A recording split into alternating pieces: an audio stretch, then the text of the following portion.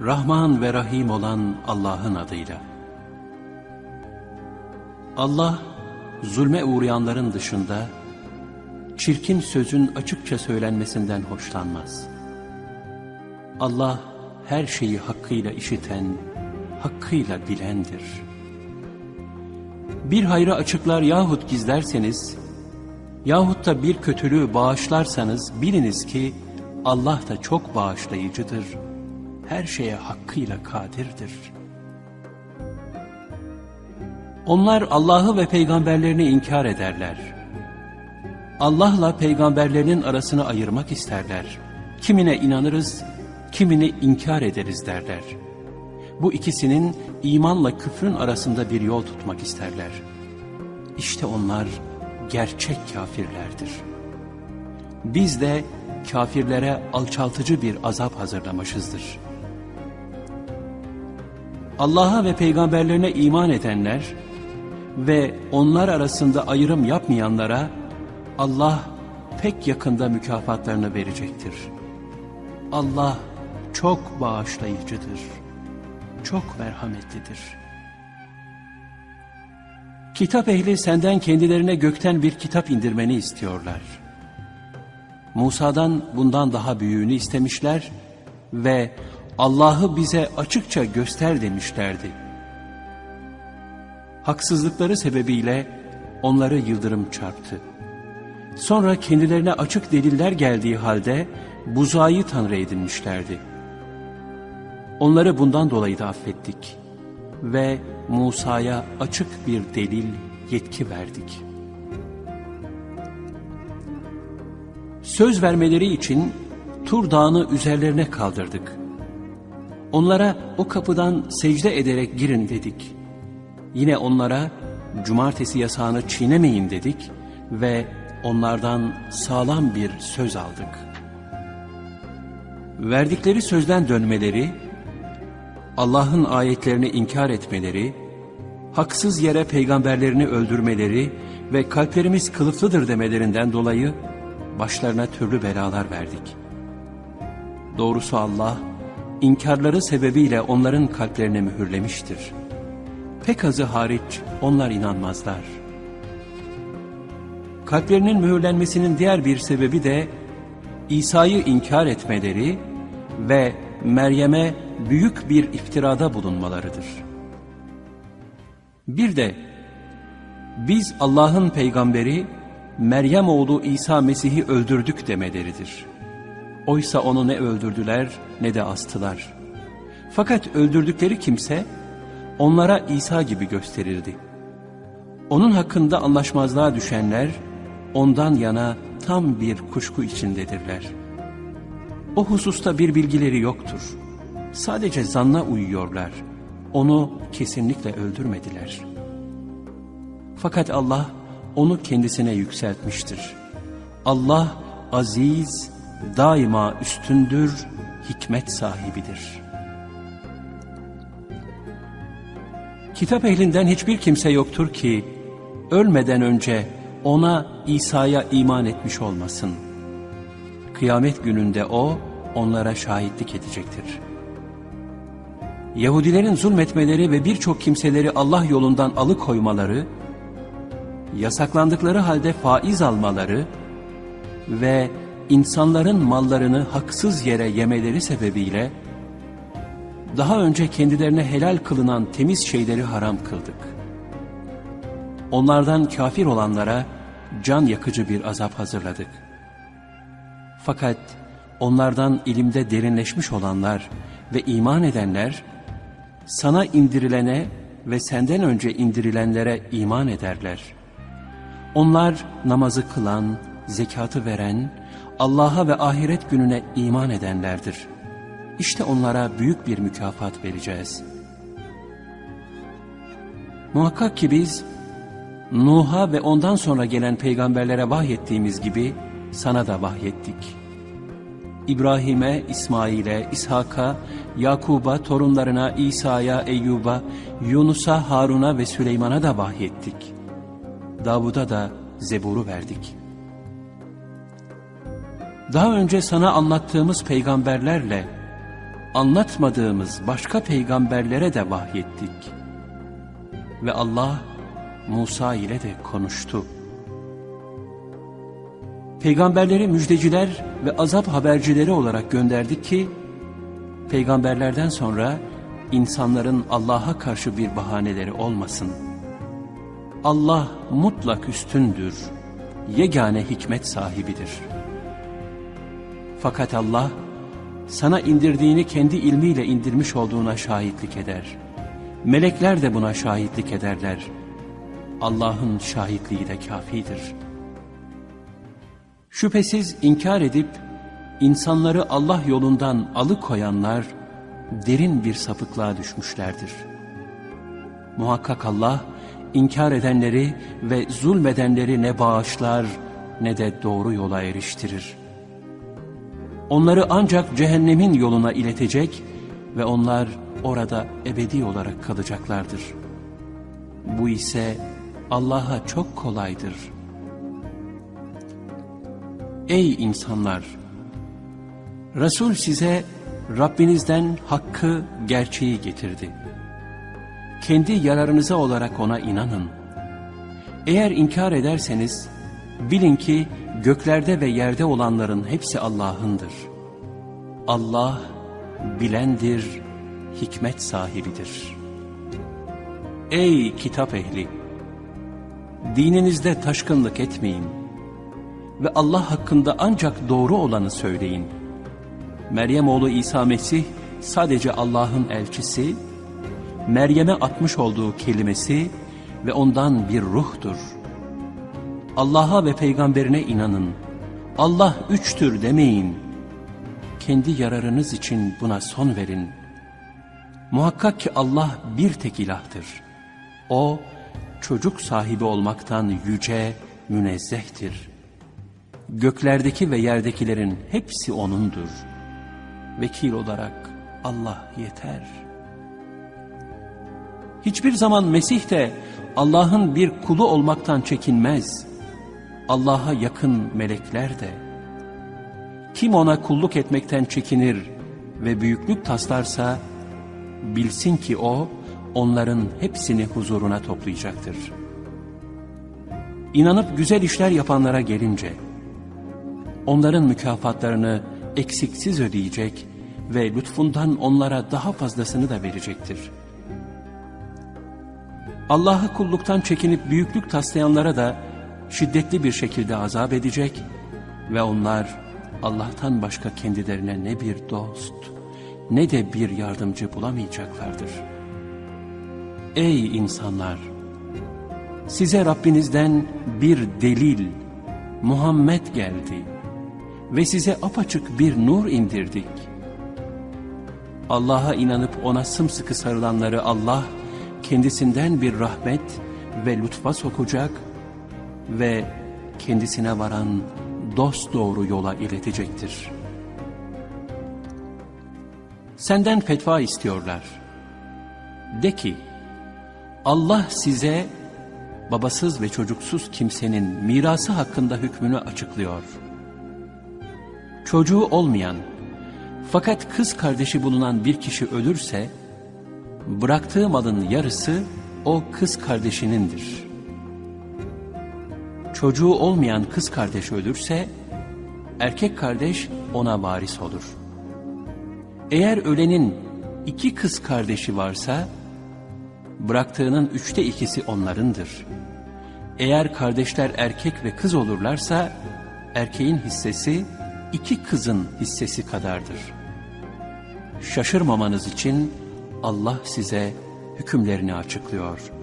Allah her şeyi hakkıyla bilendir. Rahman ve Rahim olan Allah'ın adıyla. Ey iman edenler! Sözleşmeleri yerine getirin. İhramlı iken avlanmayı helal saymamanız şartıyla, çeşitli hayvanlar size helal kılındı. Ancak haram oldukları size okunacak olanlar müstesna. Şüphesiz Allah dilediği hükmü verir. Ey iman edenler! Allah'ın alametlerine, haram aya, kurbanlık hediyelere, Kabe'ye hediye edilen kurbanlık hayvanlara ve onlara nişan olarak takılan gerdanlıklarına ve Rablerinden lütuf ve rıza bekleyerek Kabe'ye yönelenlere sakın saygısızlık etmeyin. İhramdan çıktığınız zaman avlanabilirsiniz. Sizi Mescid-i Haram'dan çevirdiklerinden dolayı bir topluma karşı olan kininiz sizi saldırıya sevk etmesin. İyilik ve takva üzerinde yardımlaşın. Günah ve düşmanlık üzerine yardımlaşmayın. Allah'tan korkun. Çünkü Allah'ın azabı çetindir. Leş, kan, domuz eti, Allah'tan başkasının adı anılarak kesilen, boğulmuş, vurulmuş, yukarıdan düşmüş, boynuzlanmış, canavar yırtmış olup da canlı iken kesmedikleriniz, dikili taşlar, putlar üzerine boğazlanan hayvanlar ve fal oklarıyla kısmet şans aramanız size haram kılındı. Bunların hepsi doğru yoldan çıkmaktır. Bugün kafirler dininize karşı ümitsizliğe düşmüşlerdir. Onlardan korkmayın, benden korkun. Bugün dininizi kemale erdirdim. Size nimetimi tamamladım. Size din olarak İslam'ı beğendim. Kim açlıktan daralır, günaha istekle yönelmeden bunlardan yemek zorunda kalırsa ona günah yoktur. Çünkü Allah bağışlayan, merhamet edendir. Sana kendilerine neyin helal kılındığını soruyorlar. De ki, size iyi ve temiz şeyler helal kılındı. Allah'ın size öğrettiğinden, öğreterek yetiştirdiğiniz avcı hayvanların sizin için tuttuklarını yiyin ve üzerine Allah'ın adını anın, besmele çekin. Allah'tan korkun. Muhakkak Allah hesabı çabuk görendir. Bugün size iyi ve temiz şeyler helal kılındı. Kendilerine kitap verilenlerin yiyecekleri size helal olduğu gibi, sizin yiyeceğiniz de onlara helaldir. Ve müminlerden iffetli hür kadınlar ve sizden önce kendilerine kitap verilenlerden namuslu hür kadınlar, zina etmeksizin, gizli dost tutmaksızın, namuslu bir şekilde mehirlerini ödediğiniz takdirde size helaldir. Her kim imanı inkar ederse, ameli boşa gitmiş olur ve o ahirette zarara uğrayanlardandır. Ey iman edenler! Namaz kılmaya kalktığınız zaman yüzlerinizi ve dirseklere kadar ellerinizi yıkayın. Başlarınızı meshedin. İki topuğa kadar da ayaklarınızı yıkayın.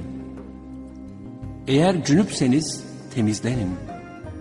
Hastaysanız yahut yolculuktaysanız yahut biriniz abdest bozmaktan gelmişse yahut kadınlara dokunmuşsanız su da bulamamışsanız temiz bir toprağa teyemmüm edin.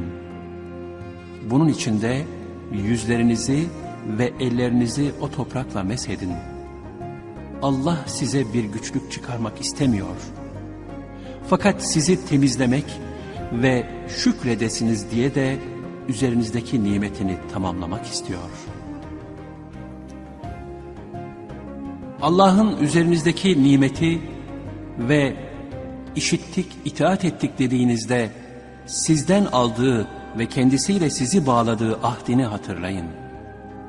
Allah'tan korkun çünkü Allah göğüslerin özünü çok iyi bilir. Ey iman edenler! Allah için hakkı ayakta tutanlar ve adaletle şahitlik yapanlar olunuz. Bir kavme olan kininiz sizi adaletsizliğe sevk etmesin. Adaletli olun. Çünkü o takvaya daha yakındır. Allah'tan korkun. Şüphesiz Allah yaptıklarınızdan haberdardır. Allah iman edenlere ve salih amel işleyenlere şöyle vaat etmiştir. Onlar için mağfiret ve büyük bir mükafat vardır. İnkar eden ve ayetlerimizi yalanlayanlara gelince, işte onlar cehennemliktirler. Ey iman edenler! Allah'ın size olan nimetini hatırlayın. Hani bir topluluk size el uzatmaya tecavüze yeltenmişti de, o Allah onların ellerini sizden çekmişti. Allah'tan korkun. Müminler yalnız Allah'a dayansınlar. Allah İsrailoğullarından söz almıştı. İçlerinden 12 müfettiş göndermiştik. Allah şöyle demişti, ben muhakkak sizinle beraberim. Namazı dosdoğru kıldığınız, zekatı verdiğiniz, peygamberlerime iman ettiğiniz ve onlara yardımda bulunduğunuz, mallarınızı Allah yolunda güzelce sarf ettiğiniz takdirde, günahlarınızı mutlaka örter ve sizi altından ırmaklar akan cennetlere korum. Fakat sizden her kim de bundan sonra küfrederse dost doğru yoldan sapmış olur. Sözlerini bozdukları için onları lanetledik ve kalplerini katılaştırdık. Kelimeleri yerlerinden değiştiriyorlar. Uyarıldıkları şeyden pay almayı unuttular. İçlerinden pek azı hariç daima onlardan hainlik görürsün. Yine de onları affet, aldırma. Çünkü Allah güzel davrananları sever. Biz Hristiyanız diyenlerden de söz almıştık. Onlar da kendilerine hatırlatılan şeylerin çoğunu unutmuşlardı. Biz de onların arasına kıyamete kadar sürecek kin ve düşmanlık soktuk. Allah ne yapmış olduklarını onlara elbette haber verecektir. Ey kitap ehli! Kitaptan gizlemiş olduğunuz şeylerin çoğunu açıklayan, çoğundan da vazgeçen peygamberimiz size geldi. Ayrıca size Allah'tan bir nur ve apaçık bir kitap da gelmiştir. Allah o kitapla rızasına uygun hareket edenleri selamet yollarına iletir. Onları izniyle karanlıklardan aydınlığa çıkarır ve onları dost doğru bir yola sevk eder. Muhakkak ki Allah ancak Meryem oğlu İsa Mesih'tir diyenler kafir olmuşlardır. Onlara de ki, Allah Meryem oğlu İsa Mesih'i, anasını ve bütün yeryüzündekileri helak etmek istese, ona kim engel olabilir? Göklerin, yerin ve ikisi arasındakilerin mülkiyeti sadece Allah'a aittir. O dilediğini yaratır. Allah her şeye kadirdir. Yahudiler ve Hristiyanlar biz Allah'ın oğulları ve sevgilileriyiz dediler. De ki, o halde niçin günahlarınızdan ötürü Allah size azap ediyor? Hayır, siz de O'nun yaratıklarından birer insansınız. O dilediğini bağışlar, dilediğini azap eder. Göklerin, yerin ve ikisi arasında bulunan her şeyin mülkü Allah'ındır. Nihayet dönüş de O'nadır. Ey kitap ehli! Peygamberlerin arasının kesildiği bir sırada size Resulümüz geldi, gerçekleri açıklıyor ki yarın kıyamet gününde bize bir müjdeleyici ve uyarıcı gelmedi demeyiniz. İşte müjdeleyici ve uyarıcı geldi. Allah her şeye kadirdir. Musa kavmine şöyle demişti. Ey kavmim! Allah'ın üzerinizdeki nimetini hatırlayın. O içinizden peygamberler çıkardı. Sizi hükümdarlar yaptı ve alemlerde hiçbir kimseye vermediğini size verdi. Ey kavmim! Allah'ın size yazdığı kutsal toprağa girin, geriye dönmeyin. Yoksa kayba uğrarsınız. Onlar da Ey Musa! Orada zorba bir kavim var. Onlar oradan çıkmadıkça biz oraya asla girmeyiz. Eğer oradan çıkarlarsa şüphesiz biz de gireriz dediler. Allah'tan korkan ve Allah'ın kendilerine nimet verdiği iki adam şöyle dedi. Onların üzerlerine kapıdan girin. Oradan girerseniz muhakkak galip gelirsiniz. Eğer layıkıyla inanıyorsanız yalnız Allah'a dayanın. Kavmi Musa'ya ey Musa onlar orada olduğu sürece biz oraya asla girmeyiz. Sen ve Rabbin gidin savaşın. Biz burada oturacağız dediler. Musa ey Rabbim ben kendimle kardeşimden başkasına söz geçiremiyorum. Artık bizimle bu fasık kavmin arasını ayır dedi. Allah Musa'ya şöyle dedi. Kırk sene o mukaddes yer onlara haram kılınmıştır. Yeryüzünde şaşkın şaşkın dolaşacaklar. O fasık kavim için üzülme.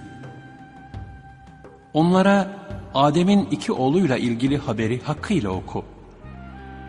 Hani her ikisi birer kurban sunmuşlardı. Birinden kabul edilmiş, diğerinden kabul edilmemişti. Kurbanı kabul edilmeyen ötekine seni öldüreceğim demişti. Diğeri ise şöyle demişti. Allah yalnız kendisinden korkanlardan kabul eder.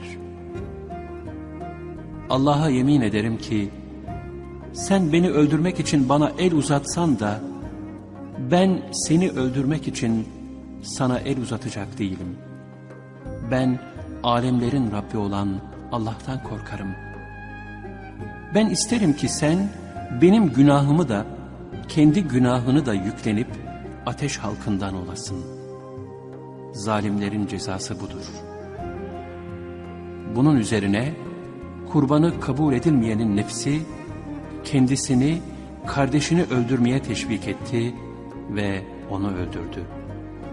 Böylece zarara uğrayanlardan oldu. Derken Allah bir karga gönderdi. Ona kardeşinin cesedini nasıl gömeceğini göstermek için toprağa eşeliyordu.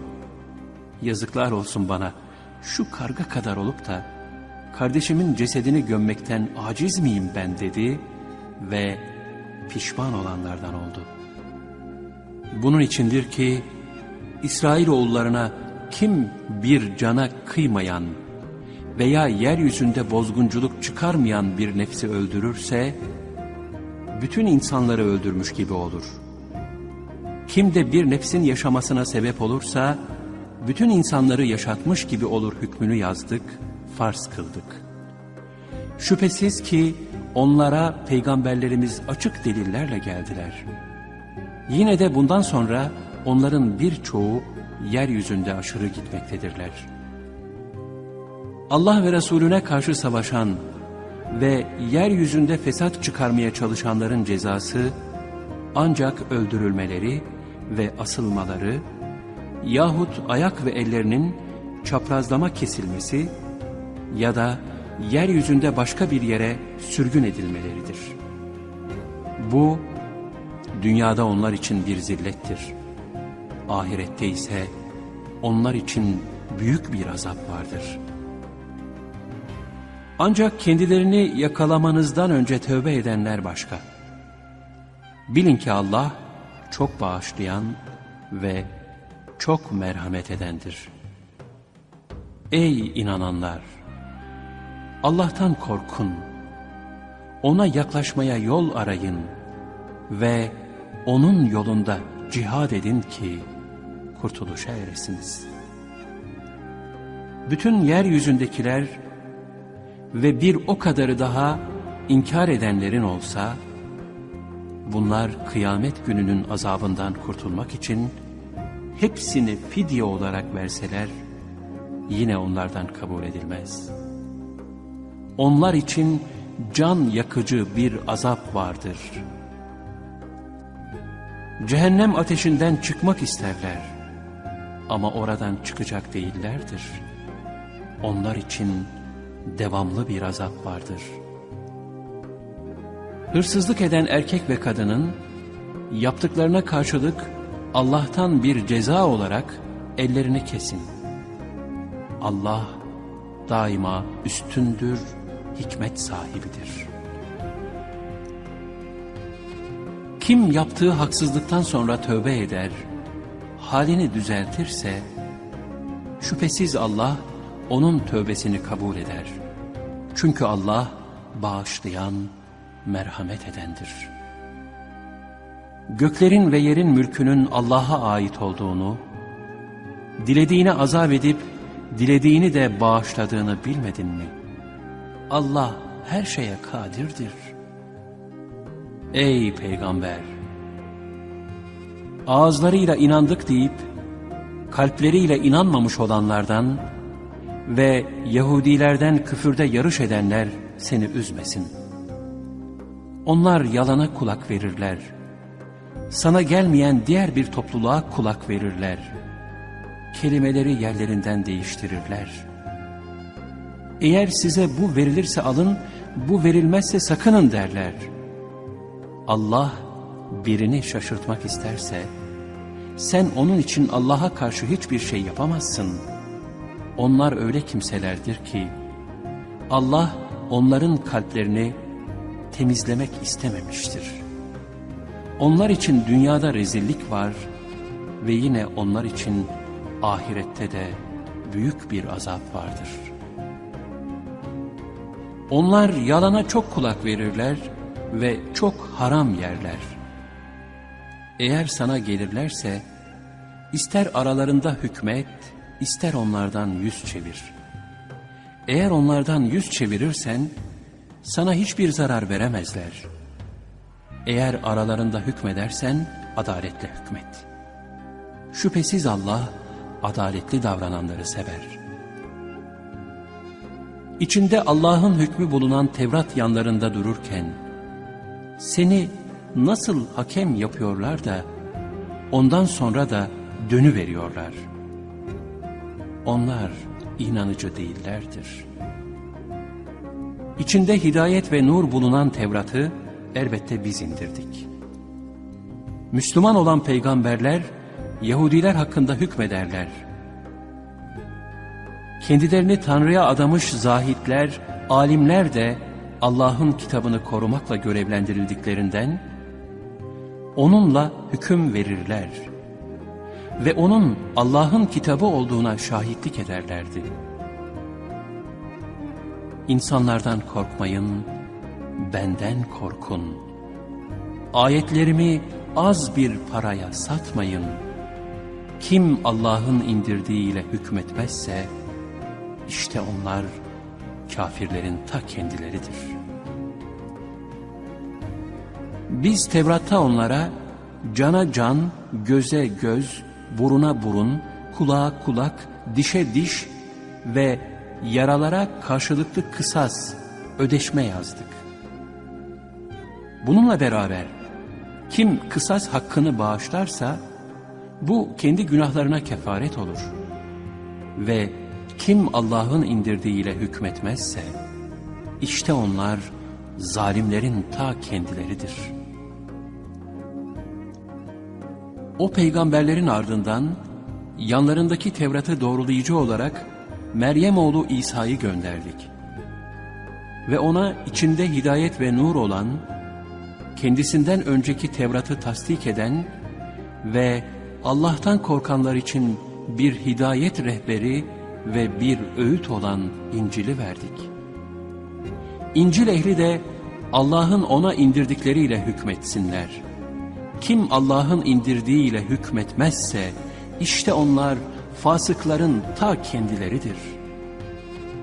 Sana da ey Muhammed, geçmiş kitapları tasdik eden ve onları kollayıp koruyan kitabı, Kur'an'ı hak ile indirdik. Onların aralarında Allah'ın indirdiği ile hükmet. Onların arzu ve heveslerine uyarak sana gelen haktan sapma. Biz her biriniz için bir şeriat ve yol belirledik. Eğer Allah dileseydi sizi tek bir ümmet yapardı. Fakat size verdiklerinde sizi denemek istedi. Öyleyse iyiliklere koşun. Hepinizin dönüşü Allah'adır. O, ihtilafa düştüğünüz şeyleri size haber verir. Aralarında Allah'ın indirdiğiyle hükmet. Onların keyiflerine uyma. Allah'ın sana indirdiğinin bir kısmından seni saptırmalarından sakın. Eğer Allah'ın hükmünden yüz çevirirlerse, bil ki Allah bir kısım günahları sebebiyle onları musibete uğratmak istiyor. Muhakkak ki insanların çoğu yoldan çıkanlardır. Yoksa cahiliye hükmünü mü arıyorlar? Kesinlikle bilen bir toplum için Allah'tan daha güzel hüküm veren kim olabilir? Ey iman edenler! Yahudileri ve Hristiyanları dost edinmeyin. Onlar biri birlerinin dostudurlar. Sizden kim onları dost edinirse, şüphesiz o onlardan olur. Şüphesiz Allah, zalim kavmi doğru yola iletmez. Kalplerinde hastalık bulunanların, bize bir felaket gelmesinden korkuyoruz diyerek, onların arasına koşuştuklarını görürsün. Umulur ki Allah, bir fetih ihsan eder veya katından bir emir, iş getirir de içlerinde gizlediklerine pişman olurlar. İman edenler de sizinle beraber olduklarına dair Allah'a bütün güçleriyle yemin edenler bunlar mı derler? Onların bütün amelleri boşa gitmiştir ve kaybedenlerden olmuşlardır. Ey iman edenler! Sizden kim dininden dönerse, bilsin ki Allah yakında öyle bir toplum getirir ki, Allah onları sever, onlar da Allah'ı severler. Müminlere karşı yumuşak, kafirlere karşı da onurlu ve şiddetlidirler. Allah yolunda mücahede eder, hiçbir kınayıcının kınamasından da korkmazlar. Bu Allah'ın bir lütfudur. Onu dilediğine verir. Allah geniş ihsan sahibidir. Her şeyi çok iyi bilendir. Sizin asıl dostunuz Allah'tır. Onun Resulüdür ve namazlarını kılan, zekatlarını veren ve rükû eden müminlerdir. Kim Allah'ı, onun Resulünü ve müminleri dost edinirse, iyi bilsin ki Allah'ın taraftarları galip geleceklerdir. Ey iman edenler! Sizden önce kendilerine kitap verilmiş olanlardan ve kafirlerden dininizi alay ve eğlence konusu yapanları dost edinmeyin. Eğer gerçekten iman ediyorsanız, Allah'tan gereğince korkun. Namaza çağırdığınız zaman, onu alay ve eğlence konusu yaparlar. Bu onların akıllarını kullanmayan bir toplum olmalarından dolayıdır. De ki, ey kitap ehli! Sadece Allah'a, bize indirilene ve bizden önce indirilene inandığımız için mi bizden hoşlanmıyorsunuz? Oysa çoğunuz yoldan çıkmışlarsınız. De ki, Allah katında cezaya çarptırılma bakımından bunlardan daha kötüsünü size haber vereyim mi? Allah kimlere lanet etmiş ve gazabına uğratmışsa, kimlerden maymunlar, domuzlar ve şeytana tapanlar yapmışsa, işte bunların makamı daha kötüdür ve onlar düz yoldan daha çok sapmışlardır. Onlar size geldikleri zaman iman ettik dediler. Oysa yanınıza kafir olarak girip kafir olarak çıkmışlardır. Allah onların gizlediklerini çok iyi bilir. Onlardan çoğunu günah işlemede, düşmanlıkta ve haram yemede yarış ederken görürsün. Bu yaptıkları şeyler ne kötüdür. Gerçek dindarların ve din bilginlerinin onları günah olan bir söz söylemekten ve haram yemekten men etmeleri gerekmez miydi? Yaptıkları şey ne kötüdür. Yahudiler Allah'ın eli çok sıkıdır dediler. Söyledikleri söz sebebiyle onların elleri bağlansın ve lanete uğrasınlar. Aksine Allah'ın elleri açıktır. Dilediği gibi verir. Andolsun Rabbinden sana indirilen, onların çoğunun azgınlığını ve küfrünü azdırıyor.